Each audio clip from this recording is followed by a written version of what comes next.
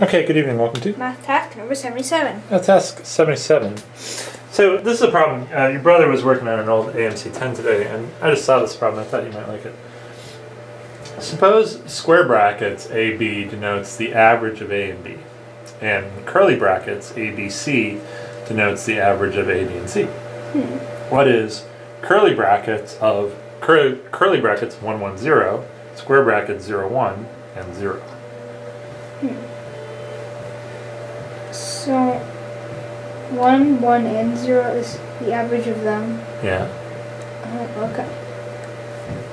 So, we can start by just evalu- we can evaluate we have to evaluate these things first, otherwise it will get kind of complicated. Okay. So, so we have to figure out the average of 1, 1, and 0. So we have to add them all, which is- we get 2. We divide by 3, it's the number of things. So we have, next, we can replace um, cloth. So, this becomes 2 thirds. Okay.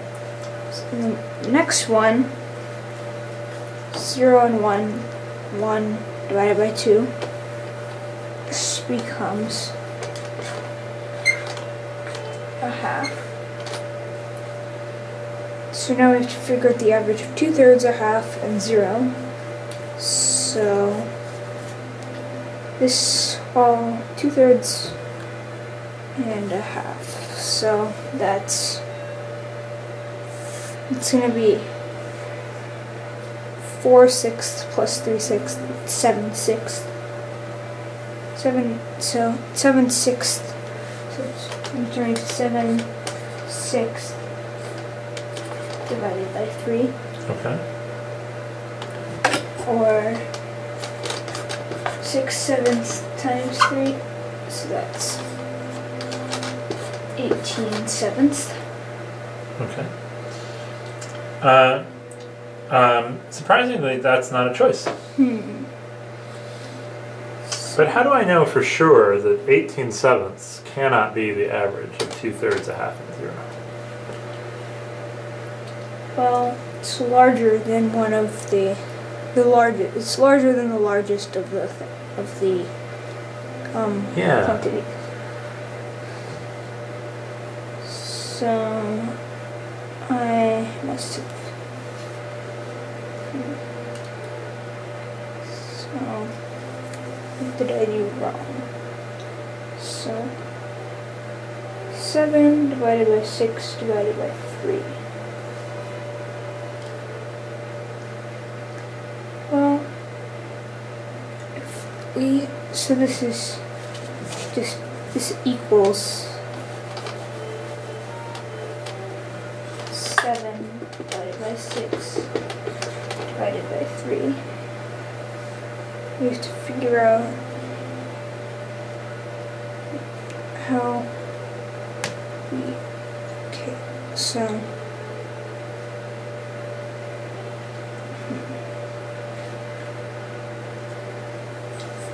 Seven can't really divide a fraction by something.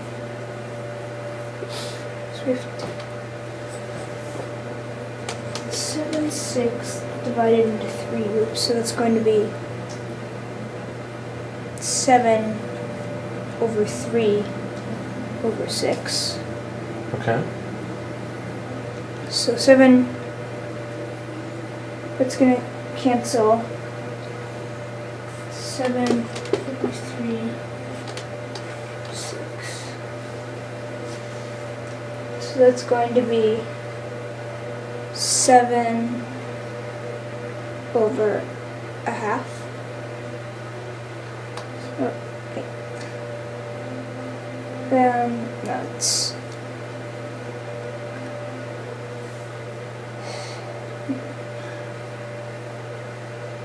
Seven thirds over six.